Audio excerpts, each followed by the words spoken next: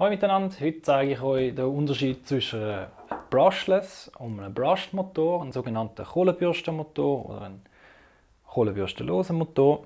Der erste große Unterschied, wo euch eventuell im Portemonnaie wehtut, ist der, dass bei einem Kohlenbürstenmotor äh, die Kohlenbürste sich irgendwann abnutzt. Sprich, wenn ihr den neu kauft, kauft ihr ihn eigentlich schon mit Ablaufdatum. Bei einem Brushless-Motor passiert das grundsätzlich nicht. Ihr habt zwei berührungslose Magnetfelder gegeneinander drehen.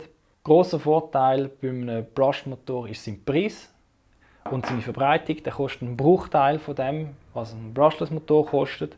Ihr findet diese Art von Motor in all euren Alltagsgegenständen, wo, wo sich irgendetwas bewegt.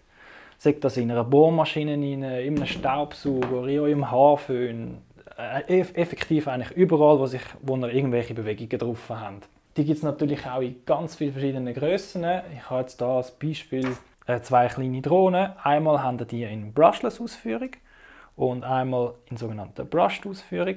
Allen Farben, Formen und natürlich auch Preisklassen.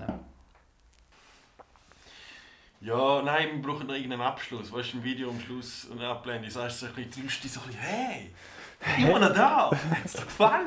Hat gefallen? Hey, schau da, mehr Videos. Also ich wäre immer noch für den Thurgau. Wir sind dann nämlich im Thurgauland, selbstverständlich. Ähm, aber... Nein, müssen wir jetzt nicht unbedingt erwähnen.